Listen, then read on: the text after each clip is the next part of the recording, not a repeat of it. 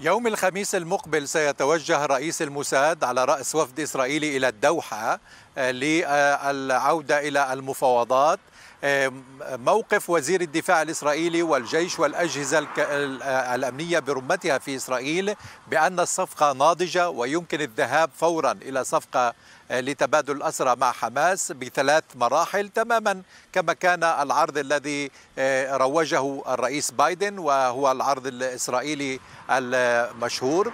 وبالتالي ما يتحدث عنه نتنياهو الآن هو ربما محاولة لتخفيف وطأة الغضب داخل إسرائيل الشارع الإسرائيلي عائلات الأسرى خلافا ربما لممثل أو ممثلين ممن وافقوا على الذهاب مع نتنياهو. جلهم رفض الذهاب معه إلى واشنطن أرادوا أن تكون الصفقة قبل الزيارة عمليا. ولهذا هو يحاول ربما أن يقول بأنه يعمل من واشنطن على إتمام هذه الصفقة، السؤال هل سيعلن من هناك من واشنطن عن التقدم الدراماتيكي في هذه الصفقة أم لا؟ في كل الأحوال التقديرات لدى المراقبين بأنه لا يوجد تغييرات دراماتيكية في الموقف الإسرائيلي إلا إذا تراجع نتنياهو عن الشروط الأربعة أو أحد الشروط الأربعة التي ساقها بعد موافقة حماس الأخيرة. ونقصد بذلك الانسحاب من محور فيلادلفي ومحور نتساريم لأنه أضاف هذا الموضوع علما أن العرض الأصلي الإسرائيلي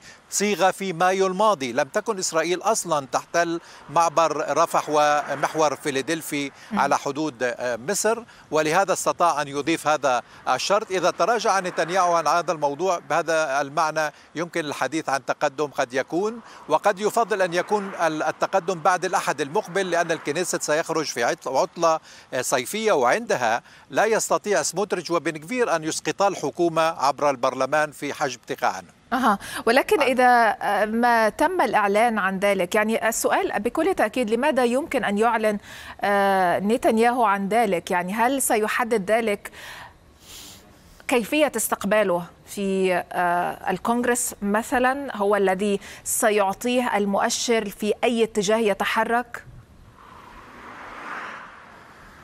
لا واضح الآن لبنيامين نتنياهو بأنه على الرغم بين مزدوجين من احتفاء اليمين في إسرائيل بانسحاب بايدن من الترشيح وما إلى ذلك بأن ذلك قد يكون مشكلة حقيقية تواجه نتنياهو في واشنطن. ببساطة لأن الرئيس الأمريكي لم يعد الآن مكبلا بانتخابات أمريكية. لا يعني كيف سيذهب الصوت اليهودي لصالحه أم ضده في الانتخابات الأمريكية؟ ولهذا قد يكون قادرا على خلع القفازات والذهاب إلى ضغط حقيقي على إسرائيل لوقف الحرب ولصفقة تبادل، هذا ما يخشاه نتنياهو وهذا ما قد يسمعه أيضا من كاميلا هاريس التي ستلتقي على حدة، ليس لقاء مع بايدن وإنما لقاء منفصل أيضا مع كاميلا هاريس وسيسمع منها قضية ضرورة وقف الحرب والذهاب إلى صفقة تبادل بالإضافة إلى كلمات الدعم العادية أن نعم. أمريكا تقف مع إسرائيل في الحرب وما إلى ذلك ولكن نعم. هذا ما يخشاه نتنياهو ولهذا عمليا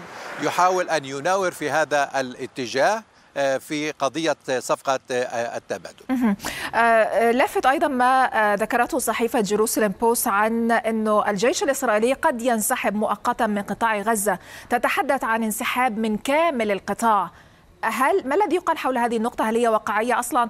الجيش يتردد، إسرائيل لا تريد الانسحاب من مناطق معينة، فبالتالي كيف ستنسحب من كامل القطاع؟